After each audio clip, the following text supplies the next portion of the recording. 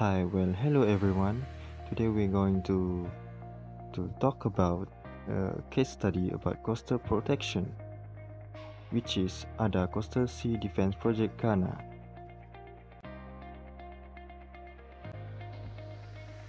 Introduction Coastal protection is one of the methods to protect the coastline. It also helps to stabilize the coastline and also to limit the amount of the overwash towards it. However, there are several types of coastal protection that are used to prevent the erosions often in the area of the coastal line. Coastal line protections also can be known as a beach nourishment where you have two types which is hard engineering and soft engineering. For our case study, we are choosing the coastal protection for Ada in Ghana. Background of the project. As you can see the picture in the slide, it is one of the examples of the problem of the coastal line erosion.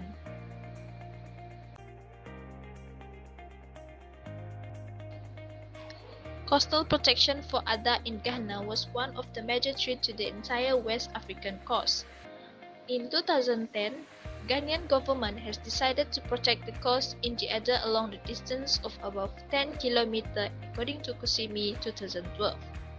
However, the beach nourishment and the ground structure for the structural stabilizations are divided into two phases, which is the first phases are more focused to the most critical part near the Volta River mouth are built.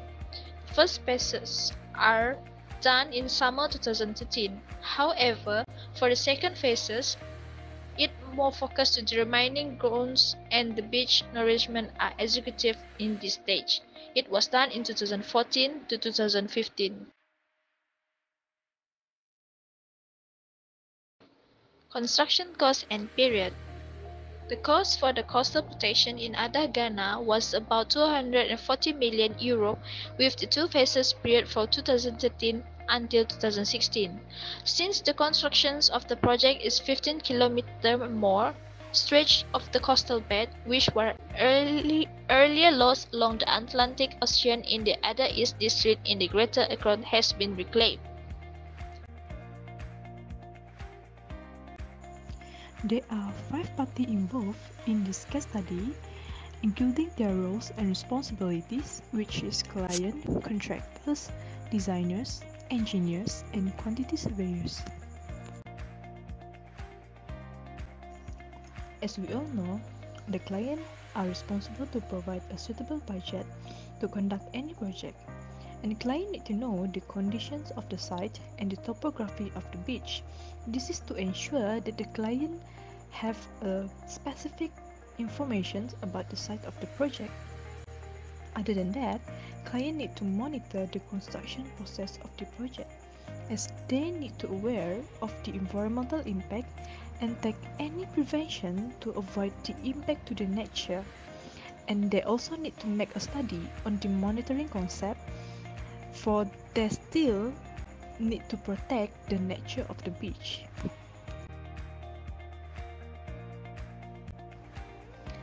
A designer are responsible to come up with a design to protect the coastal based on client requirement. But a designer need to study and investigate the conditions of site. As a designer need to recognize the causes of the erosions and come out with better design to protect the coast. This is to ensure that the coastal protection design are durable and high resistant towards the forces. Moreover, a designer have to aware with the changes of landscape throughout the year. For example, the sea level might be increases during the construction process. The contractor will be appointed to undertake the construction once the designers issue his final design according to the client requirement. A contractor should identify the suitable method of construction for the beach nourishment and ground structures. The method of construction will be based on the topography of the beach. Thus, the contractor need to perceive a specific information about the site. Other than that, the contractors need to perform the area surveys due to the changes of the landscape. This is to obtain current detailed pictures and topography of the beach. The engineers have to study on the wave forces which have causes the erosions of the coast. For example, the causes of the coastal erosion along the coast of our case study in Ada Ghana are by the construction of the Tema Harbour. Thus, the engineer need to come up with durable and high resistant coast protection. Other than that, the engineer also need to be alert on the increases of the sea level. This can be affect the beach nourishment and construction of groin structure. It is a responsibility of a quantity surveyor to ensure that the project should be within the budget and satisfy all the client's requirements. In addition, the quantity surveyor need to ensure that the contractor implement the suitable construction method even they have to fit on a tight budget from the client. Other than that, quantity surveyor need to provide the work program which have been included the period of time to construct each of the elements. The measurement of the project should be based on the conditions of the site. For example, based on our case study, they have implemented the Met-Ocean measurement campaigns for a year. This is to accumulate all this site-specific data as a basis for the design. Next is beach protection technique that is used for Ada Foah consisting of both hard and soft engineering techniques. For hard engineering techniques, the engineers decided to use groin and revetment and completed with soft engineering technique, which is beach nourishment.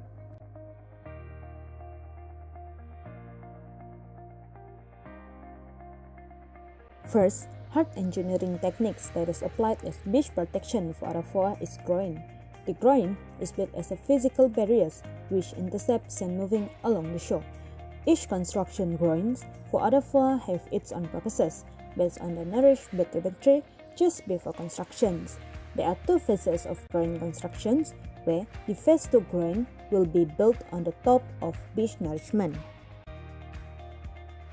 There are few practical aspects to be considered for the groin construction. First, availability of sufficient big stone, around 8 to 10 tons required for the protection. Second, the very long swell, where the peak wave periods of 10 to 20 seconds need to be considered as it can affect the construction progress. Third, occurrence of long wave and undertow, and finally, design to provide sufficient protection against floodings while avoiding very steep beach. The next technique is revetment. The process is done by filling the geotextile tubes with in situ sand and water. The water permeates from the tube, leaving the sand in the tube, creating a steady and protective barrier on the shoreline for protection. Not only does it have a sand regulatory effects, but it is also effective in stabilizing the sand against extreme meteorological events as well as preventing it from water wash. As a finishing touch for the protection, the construction team applied beach nourishment for Ada Foah. The beach nourishment takes place after the construction of groins. The beach nourishment and the dune heightening together will provide a buffer against beach erosion during storm event. Sand for the nourishment has been searched and sourced offshore in the vicinity of the project area. Sufficiently coarse sand has been found toward the west of the beach and dredged for the nourishment works. Purpose, issues, and challenges encountered in the project. Purpose of the project Ada Foah and other surrounding villages have been suffering for ongoing erosion for a very long period of time. As a result of these various properties and existing infrastructures including schools, post office, public office, graveyard, factory, Private residential homes and roads are being damaged and destroyed. This coast stretch is also prone to flooding due to poor condition of beach and presence of extensive low-lying areas. In the event of the storms or other extreme weather conditions, overtopping severe flooding and other breachings of the sand barrier. This problem occur with possible loss of human life, property, and livelihood. The pictures below are the example of the damage because of the erosions. Issues 1. The natural behavior of the coastal system 2. The influence of works on the coastal system 3. The effectiveness of the works on the coastal line and beach profile evolutions 4. Typical for remote and rather undeveloped areas a limited amount of data is available for literature. 5. No project team nor office were on site. Access to the right material on site was not evident. 6. The water level variations along the coast of Ghana is dominated by astronomical tide since no long local windstorm occur and wind included such as storm surge is limited. 7. Tidal and wind-induced currents are small compared to the oceans of current. For example, Guinea current and Quantum current. Finally, Ada Foah and surrounding villages are prone to flooding as a result of the low-lying areas and in case of overtopping and flooding the result could be life-threatening to the local residents in this area. There are four challenges in this project. First, the high energetic environment with long swell wave which is not being responsible for the highly dynamic beaches but also for pushing designers and contractors beyond their comfort zone. 2. Forced to adapt to the local conditions and to be creative during the design and execution of the works in order to find alternative workable solutions that still fit into the tight budget and the project requirement. 3. In front of Fear Atlantic Swell, the town of Ada is threatened by the sea, where every year the sea takes more than 1.5 from the coastal line, where several buildings are washed away every season. Finally, the never-ending erosions call for human interventions in order to save Ada. That is where the Ministry of Water Resources, Work and Housing of Ghana took the initiative to set up a major coastal protection project. Oh, well, there are many types of plant involved in the project, but we are only going to focus on two type of plant, which are excavator and dredger. As you can see in the picture on my on my right, the excavator is doing some some excavation works alongside the beach. So the function, the main function of, of the excavator to to move lots of soil from from from an area to the to the site Meanwhile, a dredger functions as, as a pumping machine which pumps out sand, sand out of from the seabed into into the above of the land as you can see in the picture on my right.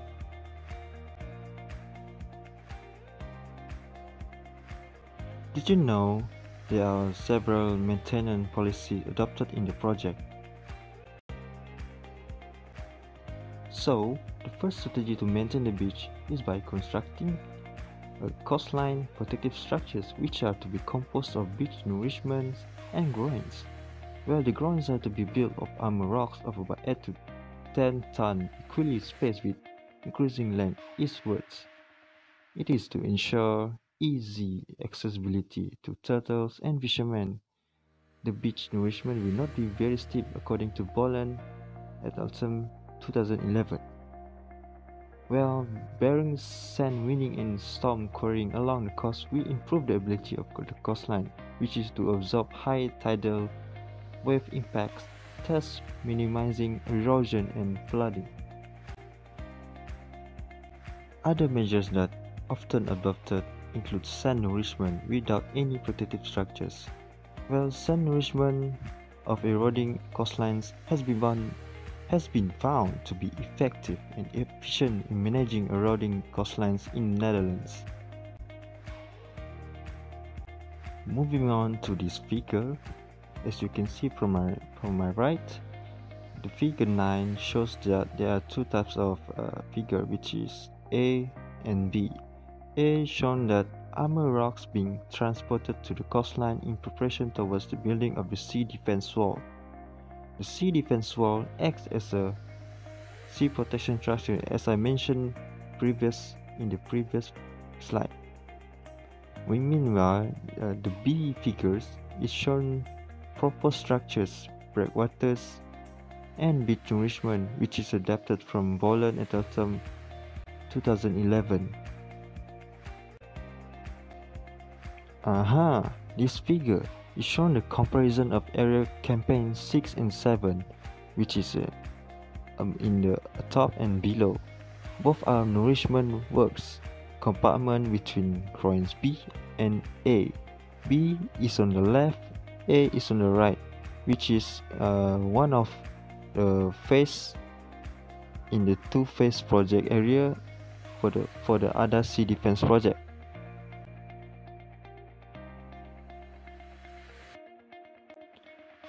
As we go near into the conclusion of the, our case study, well, do you mind to hear it from us? What we can say from this case study, there are many construction projects in remote areas.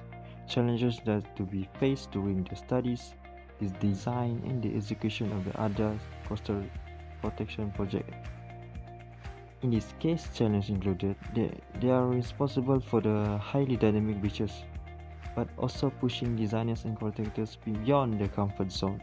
This meant that during the project, designers and contractors were forced to adapt to the local condition and to be creative during the design and the executions of the works in order to find alternative, workable solutions that still fit into the tight budget and the, pro- the project requirements. Well, despite the, all the challenges, well, it is possible to conclude that a technically sound and robust design responding to client requirements and within the established budget has been delivered, which further an, effic- an efficient construction method which makes use of temporary steel jetties, allows land-based construction of the submersible mount groins, and warrants a precise and concise execution of the works was applied.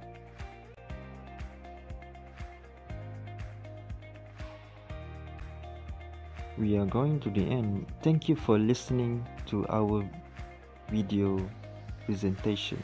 Thank you.